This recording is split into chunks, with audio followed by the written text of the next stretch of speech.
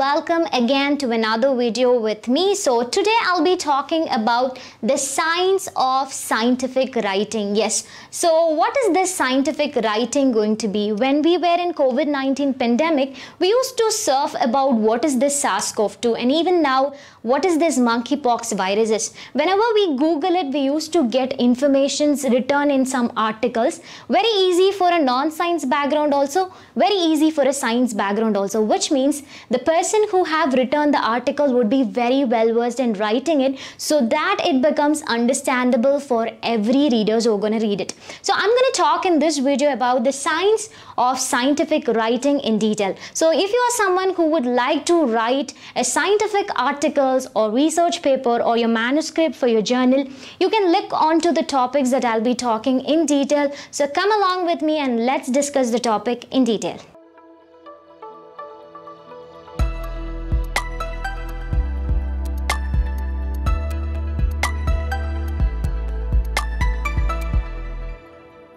Hey everyone, this is Caroline Green from Biotecnika. So let's start off with the video.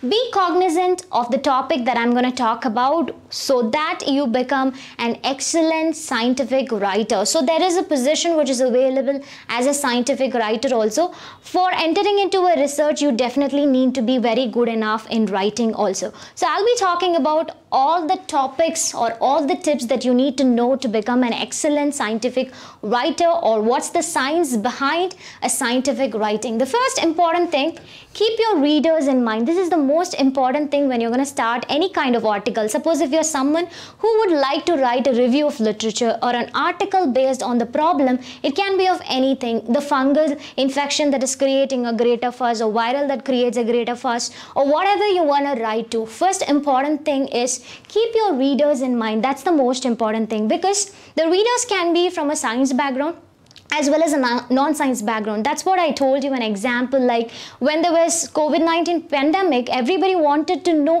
what is this sars-cov-2 so everybody went and started searching for it. So the article has to be very easy for the reader to understand it clearly. So keep your readers in mind when you start any kind of writing whether it's your research paper or whether it's going to be an article or whatever it is. Always think in the reader's perspective. The first important thing as i already told you, have to think about it and pen down the piece of information how you wish to read it. Yes, just imagine that you are the reader going to be. So suppose if you're going to talk about one of the problem that is existing in the society, some scientific problems, first pen down all the points that you're going to write it in your entire articles and always think if you are a reader will you be able to understand what you are going to write so think about the first situation and then you can see people from different backgrounds. The readers can be from a scientific background or they can be from a non-scientific background also. You might sometimes think, ma'am, usually in a research papers, all scientific people are going to read it. But researchers also have a different research fields also. The background is going to be different. If you're going to work on oncology people are going to work on a plant biotechnology. So there are different streams. People are going to be different even as a scientist also. So always remember in a reader's perspective. So readers are different background even though scientists are going to be in another field also. So th this is the most important thing. And suppose when you're writing or pen pen down all your points that time you might feel some sentences wouldn't make any sort of sense. So if you feel any kind of thing like that then always eliminate the point that moment because when you're going to put those point it might misinterpret so the readers will not be able to understand what you're trying to say so these are the important points that you have to keep in mind when you're going to start any article or research paper or any kind of manuscripts or whatever it is keep your readers in mind What's the second important thing? Yes, give a structure or a shape to your writing. Yes, now you know what are the things you're going to put it over there, but it has to be coherent.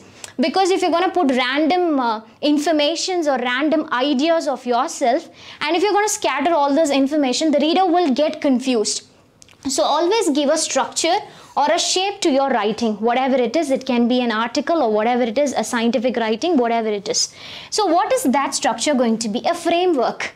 Uh, suppose if you're going to build a house, uh, so what the engineer usually does is used to give a map for you a blueprint for you for the construction. The same way, when you are going to start writing it, you need to know what is going to be the blue map, blueprint for your writing up going to be. So a framework or a form to your content that can be called as a shape or a structure.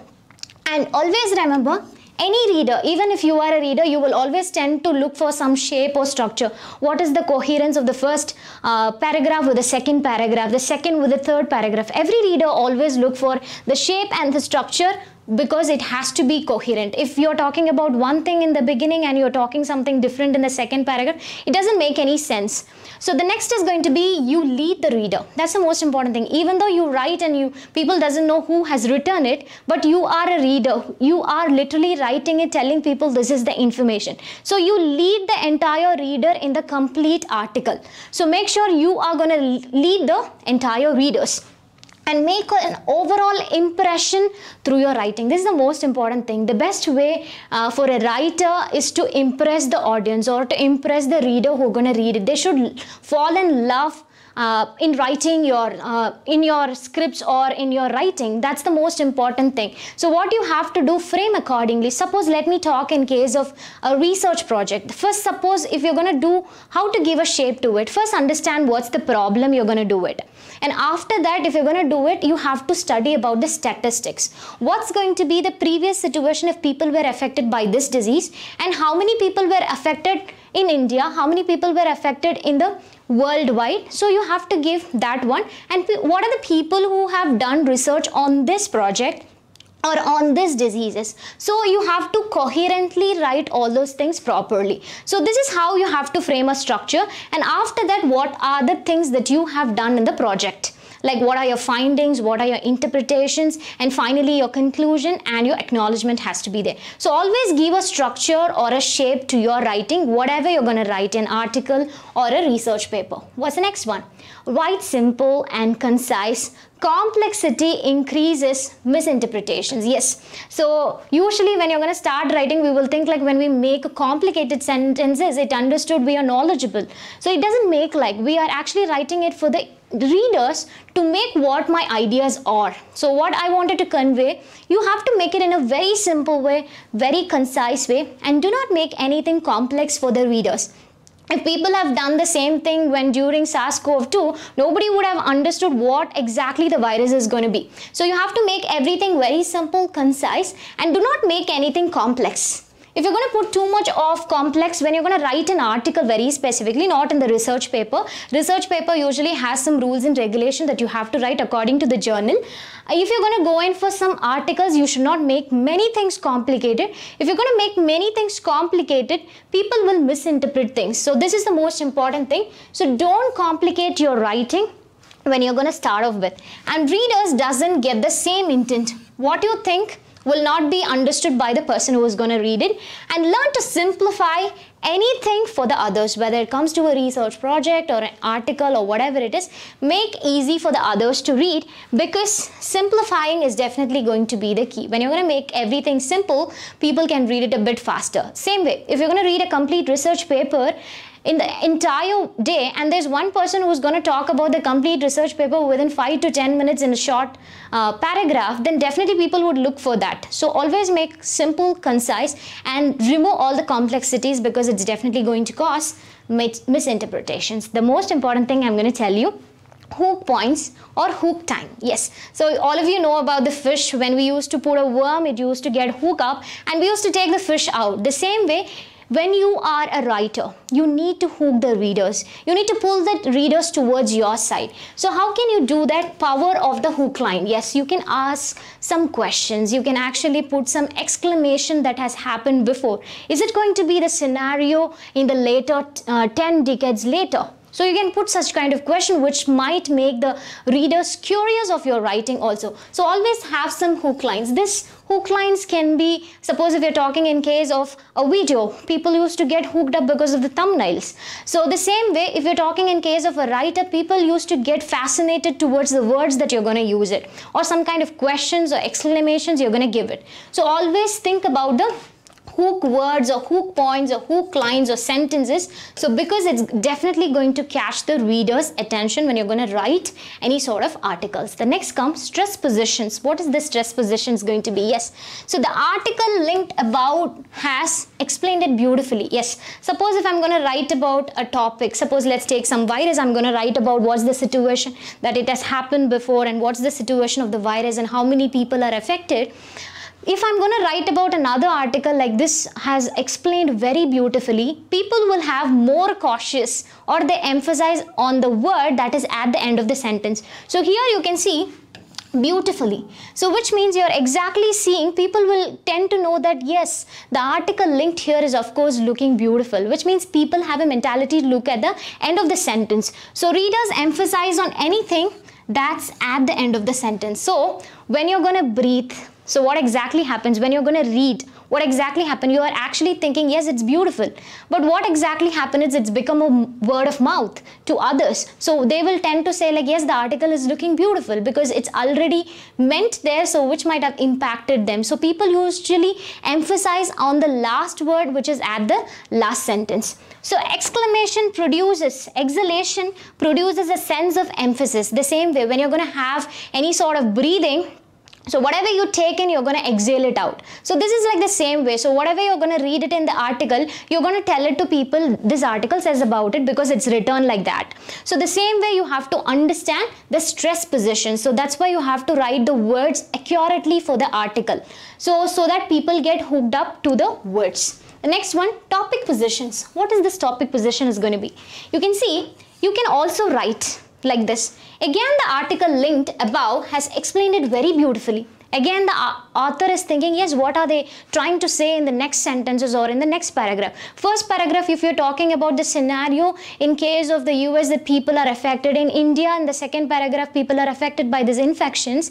And there is a coherence between US and India, how many are affected, and is it going to be the scenario in the next decade? If you're going to put questions like that, definitely what will happen? They will save the best for the last. They will think like, okay, something the reader is trying to say something to me. So he will try to read at the end of the phrase also. So you have to make sure the topic position, the first paragraph, what are you talking? The second paragraph, what are you talking? That's going to stand out. The next important thing is link and context. This is the most problem most of us use to make this so what is that going to be? Suppose if I'm talking about in the initial paragraph, I should say what has happened before so that the reader will think, yes, this was happening before and I have to put a context below that this can be happening forward. So the reader will get an, a thought like it has happened before also and it is going to happen like this way also possibility is there. So link all your sentences and paragraphs which has happened before incidences and the incidences can be about to happen also. No sentences should be left incomplete. That's the most important thing. You should not leave any sentences and provide context. The reader should be able to look forward what can happen after some period of time.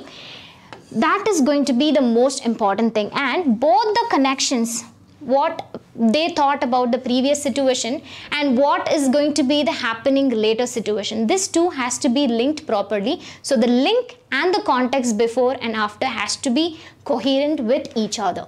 The next one, the scientific process. What's this scientific process going to be?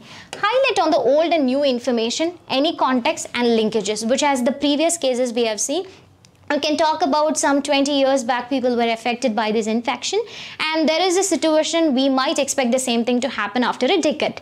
So always give some old information, the present scenario or the current scenario that is happening and always give some link linkages to the uh, sentences and helps the reader to understand what you want to convey through your writing. This is the most important thing when you're going to write any kind of scientific writing.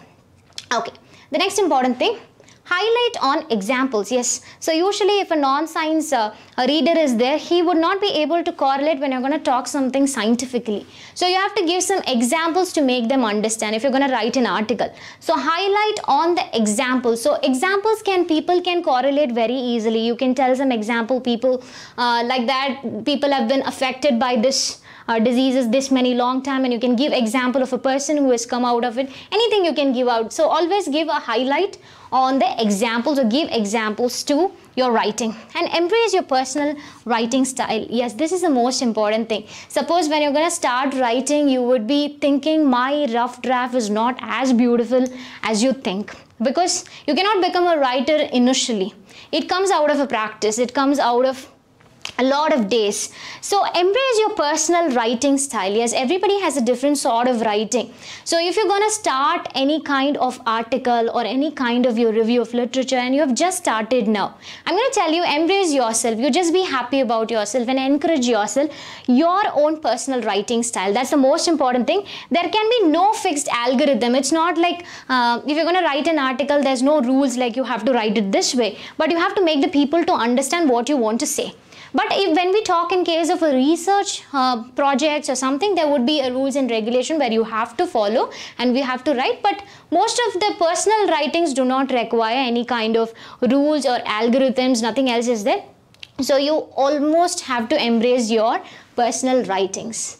So today we've been talking about the science of scientific writing. Yes, suppose if you are someone who would like to become a scientific writer, then please do follow all the tips that I've been asking you to do so. So if you find this video is helpful, please like, share and subscribe to our channel Biotecnika. And if you have questions, you're always welcome to put your questions in the comment section. So I'm going to meet you back again with another video. Thank you all of you for joining. Thank you.